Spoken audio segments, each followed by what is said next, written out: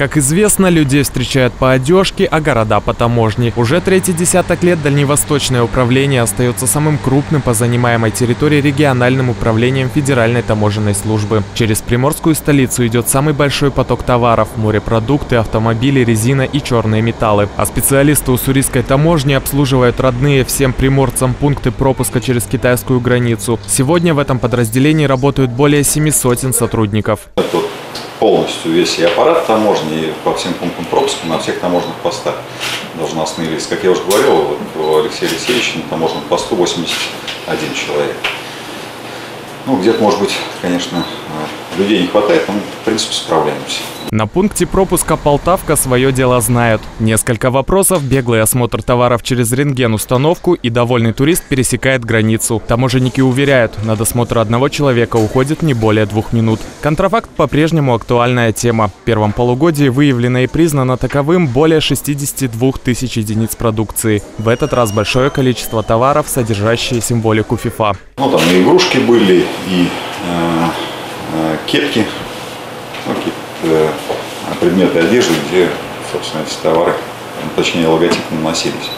Во втором полугодии ожидают снижение численности туристов. Связывают это с борьбой с коммерческим туризмом. Помогая с каждым годом становится все больше. Товары из Китая завозят в Приморье в больших количествах. Ежедневно на погранпереходе выстраиваются очереди из автобусов и автомобильных поездов. Или в просторечии фур. В очередях с тюками застревают и обычные туристы. Те, кто хочет посетить соседнюю страну в качестве путешественника. И разделить эти потоки невозможно, подчеркивают специалисты. Большую помощь таможенникам оказывают и служебные служебные собаки. В плане технической помощи, в плане помощи кинологического отдела, ну, я как-то доволен работой медика и кинолога.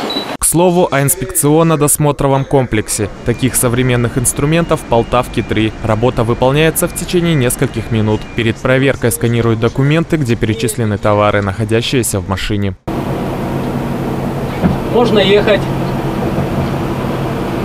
Затем машину просвечивают, а на экране появляются результаты проверки. В данном автомобиле находятся продукты из Китая. Для удобства программа окрашивает каждый товар определенным цветом. В будущем такие аппараты будут показывать и вес. Незаявленной водителем продукции здесь обнаружено не было. Все, видите, все просматривается. Даже вот двигатель темный, вот мы осветление делаем. Если что-то где-то будет в районе двигателя лежать, сразу будет видно пятно. Находясь на границе, мы не смогли не спросить про ситуацию со стеклянным пляжем, а точнее с так называемыми сувенирами, которые китайские туристы прихватывали на память. По словам начальника уссурийской таможни, большого количества обнаружено не было ни на одном пункте. Возможно, туристы из Поднебесной просто выкидывают стеклянные сокровища из-за потери привлекательности, хотя сами туристы признаются, на память оставляют малую часть. Мы какие-то буду объяснять, только один-два штука и все, больше не могу через таможню не могу.